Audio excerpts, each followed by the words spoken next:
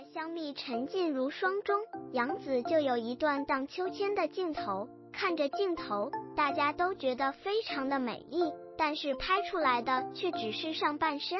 说白了，这种古装剧这样的裙装这么飘逸，拍全身会比较漂亮呀。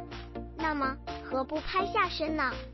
结果发现，当我们看到下半身时，画风突然变了，网友笑喷。为让镜头更具美感，工作人员将镜头机械固定在杨紫的脚上，杨紫还穿了一双拖鞋，真的是隔屏感到尴尬呀。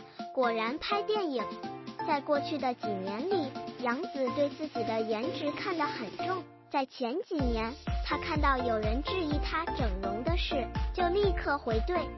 时至今日，质疑的声音不仅没有停止，而且越来越多。他再也没有对这个问题做出回应，即使被问到，及时回答也是模糊不清。但杨紫的粉丝们一直在为偶像与李剧争辩，说杨紫的脸从小就是以多方面来看的，只是有些心怀鬼胎的人用严厉的眼光来看而已。事实上，对于一个演员来说，颜值真的不重要，演技才是吸引人的地方。但演员们的反应能力仍然至关重要。亲爱的，《热爱》一书出版不久，就有不少人用硅胶来形容杨紫的脸型。